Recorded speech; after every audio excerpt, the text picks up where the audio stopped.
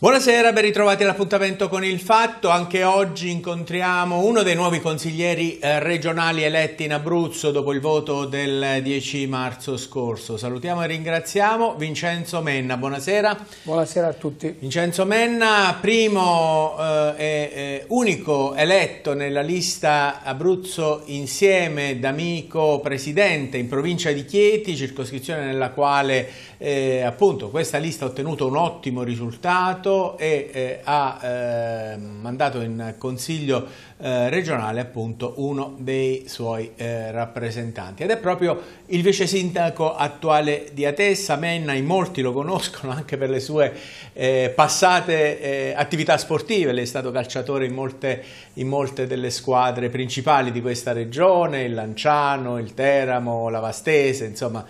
insomma anche eh, l'abbiamo conosciuta per la sua carriera calcistica. Poi una carriera diciamo, professionale e quella politica come numero due di una giunta guidata dal collega Giulio Borrelli che a Tessa rappresenta un po' questa eh, maggioranza di centrosinistra. Ecco, intanto ci racconti eh, com'è stata questa sua avventura elettorale, avete festeggiato domenica in piazza eh, questo dato molto importante che è diverso da quello che appare sul sito del Ministero degli Interni perché avete avuto in realtà più voti eh, rispetto ai 2600 che vi vengono accreditati. Sì, i voti sono 2703 eh, perché c'era mancato un conteggio di una sezione del, del, nostro comune, la sezione numero 12 se, no, se non erro. Domenica abbiamo festeggiato, era doveroso eh, festeggiare mh, ad Atessa con i miei concittadini. Il, il, tempo ci ha giocato un brutto scherzo, alle 9 abbiamo dovuto smettere per la pioggia, però è stata una giornata significativa eh, dove ha partecipato anche Luciano D'Amico. Un doveroso ringraziamento a chi eh, mi ha aiutato, a, alla mia famiglia che mi ha sopportato e supportato in eh, questi due mesi di campagna elettorale dove sono stato diciamo così, assente e, e, a tutti quelli che mi hanno dato una, una mano in campagna elettorale. C'è stata eh, proprio in questa campagna elettorale una forte eh, insomma, polemica relativa in particolare alle infrastrutture della eh, vostra zona, il polmone industriale d'Abruzzo, lo, lo, stabilimento Stellantis e un po' tutto l'indotto. Ecco, eh, che cosa hanno capito i cittadini di quello che è stato fatto e non è stato fatto in Val di Sangro per le infrastrutture? Poi insomma penso sia stato il tema principale della sua campagna elettorale, perché le hanno dato questo consenso anche su questo? Ma il consenso che noi eh, abbiamo avuto um, nel nostro territorio, noi abbiamo preso il 60% dei consensi nel mio paese eh, a cui poi si sono aggiunti il, il, i voti degli, degli, altri paesi, però nel mio territorio la um, cosa che è saltata all'occhio, ma non, è, eh, non lo dico io eh, oggi, ma mh, è una questione annosa che va avanti da parecchio tempo, è lo stato d'abbandono dell'area industriale, che è l'area industriale più importante del Mezzogiorno eh, e più importante d'Abruzzo, in quanto un terzo del PIL viene prodotto nella nostra zona, dove non lavorano solo i cittadini di Atessa, ma eh, vengono persone da, da, da tutto l'Abruzzo. Uno stato d'abbandono che sarà uno dei primi punti che porterò in Consiglio regionale. Eh, di promesse ne sono state fatte tante, eh, addirittura questo non è eh, diciamo così, frutto soltanto del, del, dell'ultimo governo, ma eh, i benefici che abbiamo avuto quei pochi benefici risalgono alla giunta eh, d'Alfonso con il master plan, quello che hanno diciamo così, nei dintorni della zona industriale, ma per quanto riguarda il cuore della zona industriale versa in uno stato di, di, di abbandono totale, da, le, le, la semplice segnaletica orizzontale, l'illuminazione eh, e varie infrastrutture interne, eh, così come i servizi che servono ai tanti autotrasportatori che che eh, giungono ogni giorno eh, presso lo stabilimento Stellantis. Eh, anche Tavares, che è stato qui qualche mese diciamo, addietro ha ripetuto le stesse cose che aveva detto il compianto Marchionne quando venne, se non erro, nel 2013. Quindi a distanza di 11 anni nulla è cambiato, solo promesse che l'ARAP e la Regione Abruzzo non hanno mantenuto. Si spera che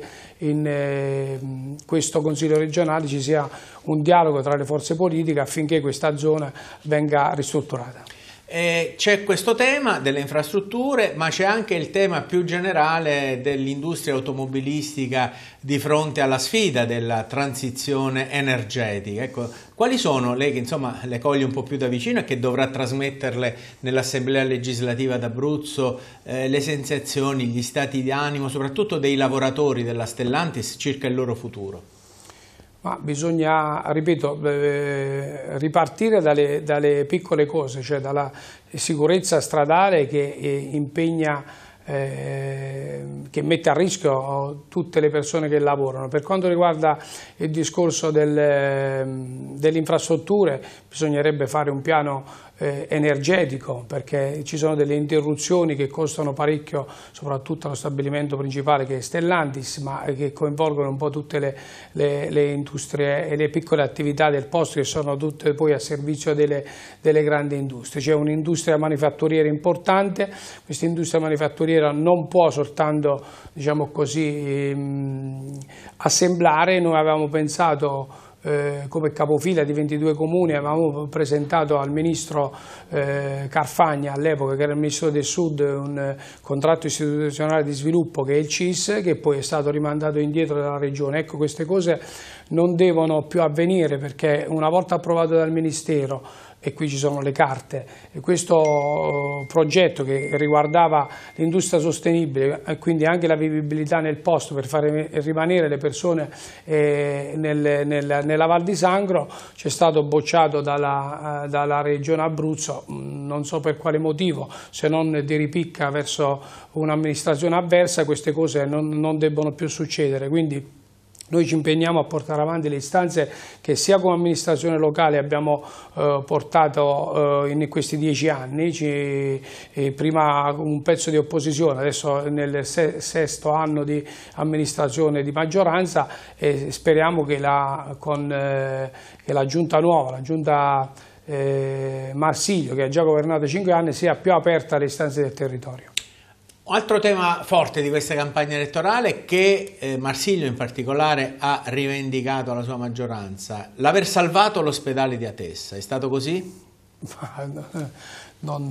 cioè, eh, l'ospedale è una cosa, i servizi che ci sono oggi con gli operatori che lavorano all'interno dell'ospedale eh, sicuramente fanno un buon servizio, fanno il loro lavoro ed è importante l'ospedale di comunità ma l'ospedale, quello che era prima e soprattutto quello che oggi nel eh, piano di riordino aziendale regionale è tutt'altra cosa. Noi siamo stati riconosciuti come ospedale di area disagiata. E, ad oggi mh, questo riconoscimento è solo sulla carta, il compito nostro è farlo attuare, adesso l'ospedale di comunità eh, nel PTA di Atessa non è altro che un ospedale a, a, gestione infermieristica che dà dei servizi importanti, ci sono anche servizi ambulatoriali importanti, qualche altro servizio come la mammografia eh, che prima c'era e adesso non c'è più, cioè l'ospedale è stato smantellato non precedentemente come qualcuno vuole far credere dalla giunta D'Alfonso ma è stato eh, smantellato in occasione del Covid. In occasione del Covid è stato eh, istituito l'ospedale di eh, Covid Hospital, eh, finito il Covid sono state riportate alcune cose, siamo ancora in ritardo, c'è stato un rifacimento diciamo così, edilizio eh, della, della struttura, ci sono dei servizi, mancano altri servizi che prima vi erano e oggi non ci sono, e il pronto soccorso non è un pronto soccorso ma è un PTA, è un eh, PPI, punto di, eh, punto sì. di primo intervento. L'ospedale ha bisogno di altro, il pronto soccorso ha bisogno di, di posti letto, di una medicina, di, di qualcosa che c'è dietro. Oggi se chiami eh, il 118 non ti fermano alla testa, ci devi arrivare con i piedi e poi ti portano con, con i propri piedi e poi ti portano in un'altra struttura. Noi preperemo per far applicare tutto ciò che è scritto e che hanno promesso ma che è scritto soprattutto sul piano di riordino aziendale. L'ospedale è un'altra cosa, noi ringraziamo quelli che ci lavorano, fanno dei servizi importanti, ma adesso è una struttura infermieristica, gestione infermieristica con i, i, i, i medici di base a sostegno, quindi l'ospedale è un'altra cosa. Certo, lei ha parlato un po' di quelli che sono i temi fondamentali e saranno anche le, le questioni, i dossier che lei seguirà in Consiglio regionale per il suo territorio, che è quello che eh, va a rappresentare, ma c'è un discorso un po' più generale di cosa farà l'opposizione, la minoranza in questi cinque anni. Domenica è stato proprio da voi Luciano D'Amico, che clima c'è eh, sia nel valutare il risultato elettorale generale non positivo, soprattutto relativamente all'astensionismo, ma anche per organizzare eh, quella che sarà l'opposizione alla giunta Marsiglio, eh, alla sua nuova maggioranza. Menna. Ma io mm, penso che D'Amico eh, sarà la giusta espressione di, di, di um, un insieme di, di, forze politiche, è stato chiamato per mettere assieme tutte le forze politiche, politiche e civiche, il risultato di Abruzzo Insieme è significativo, una, una forza civica non solo de, non di facciata ma eh, composta da amministratori che conoscono bene il territorio. Prima delle, delle, delle elezioni c'era un clima di sfiducia, oggi nonostante la sconfitta c'è un... Eh, un altro clima, c'è un clima di fiducia, si è ripresa la fiducia, quella fiducia che noi dobbiamo trasformare in proposte all'interno del, del, Consiglio Comunale. Eh, regionale. Eh, scusi, una, una de, del Consiglio regionale, delle, delle, proposte che noi faremo eh, una volta che ci, ci saremo insediati, eh, D'Amico è il giusto collante tra le forze diverse all'interno del, del, dell'opposizione, però siamo convinti che con lui porteremo avanti tutte quelle le proposte che abbiamo fatto in campagna elettorale, dove forse dovevamo parlare ancor più dei temi, siamo partiti leggermente in ritardo, però eh, le varie forze hanno dimostrato di essere presenti, naturalmente eh, il maggior consenso l'abbiamo preso eh, vedendo i dati dalle, dai centri più grandi, magari abbiamo mancato nei, nei, nelle aree interne dove forse dovevamo spiegare meglio e dovevamo partire prima con con i contenuti. Adesso abbiamo tempo, faremo sicuramente un'opposizione ferrea ma costruttiva. Eh, appunto per questo, ecco, io chiedo a lei che è un amministratore di un comune insomma, di media grandezza, oltre ad essere il comune che ha l'industria più grande della regione sul suo territorio, ecco, ma perché un abruzzese su due oggi ha un rapporto con la politica così, così distorto, eh, nel senso che ritiene la politica una cosa da cui stare alla larga, eh, e non vota nemmeno anche voi amministratori che siete insomma, un po' i loro rappresentanti. Che logica sta scattando e soprattutto che tipo di risposte deve dare la politica eh, rispetto a questa disaffezione? Ma io penso soprattutto che nel corso degli ultimi anni la politica si è allontanata da quello che, che sono i territori, alle, non ha avuto più contatto con eh, le persone, almeno questo, oggi paghiamo questo dato, eh, questo modo di fare, è, è chiaro che le cose più eh, difficili da cambiare sono le abitudini e oggi, eh, come dicevi prima, eh, una, un, un, elettore su due non, non, va a votare. Il compito della politica è riguadagnare, eh, guadagnarsi di, nuovamente la fiducia da parte degli elettori che sono scontenti. Naturalmente certi comportamenti degli ultimi anni, ma questo anche a livello nazionale, questa bagarre, questa astiosità tra le forze politiche non ha fatto altro che allontanare le persone dalla politica. Il progetto, il patto per l'Abruzzo fatto da, da, Amico, ma soprattutto Abruzzo Insieme, che è una forza veramente civica che de, deve far, che eh, è stata ripagata con il consenso delle persone, appunto perché è una forza, eh, diciamo così, lontana da, dai partiti, pur avendo una collocazione ben specifica, è lontana dalle dinamiche dei partiti e io penso che oggi si debba rispondere più alle esigenze dei cittadini e meno, meno, fare meno bagarre meno pretestuosità, quelle pretestuosità che, come ho detto prima, ha inciso anche nella nostra proposta del CIS del, di, qualche, di, di, di, un paio di anni fa, che ha penalizzato naturalmente non a Tessa per una semplice ripicca, ma ha penalizzato un'intera certo. regione. Benissimo, io ringrazio Vincenzo Menna, naturalmente in questi cinque anni ci vedremo spesso, eh, complimenti ancora per il eh, risultato e buon lavoro in Consiglio regionale. Grazie ai nostri telespettatori, arrivederci a domani alla stessa ora. Buona serata. Grazie.